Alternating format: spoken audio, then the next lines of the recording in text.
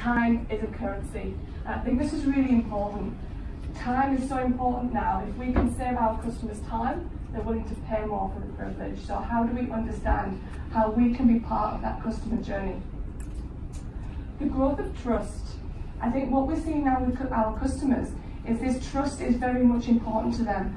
Transparency, warranties, end-to-end journeys. Our customers are really becoming aware of where things come from or what they want from their retailers.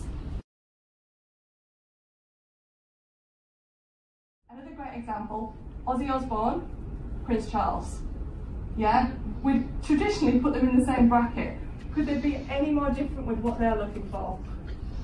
So our millennials, very much looking for new movements, very much moving towards the trends that we talked about at the beginning. But we've got to remember it could be anything from an 18-year-old student to a 30-year-old corporate.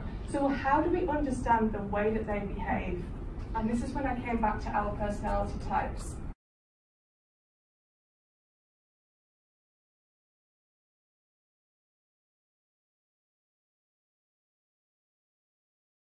So I keep saying this by 2020, that's in six months' time. Yeah, millennials will be the largest spending power in the world. Is anyone scared now? Mm. Yeah, I am when I look at my 23 year old millennial sister. Yeah.